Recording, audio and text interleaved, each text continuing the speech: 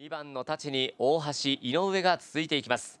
青番周回4コーナーからホームに帰ってくるところ。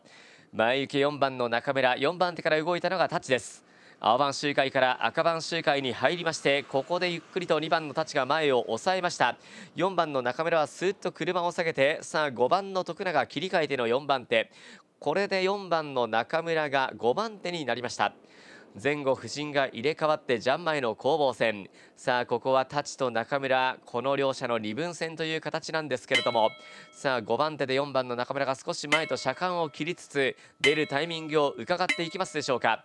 金の2センターから4コーナー。さあタチがこの辺りは中村の動向を警戒しつつ徐々にペースを上げてまいりました。さあ2日目2番のタチが逃げ勝負に名乗りを上げています。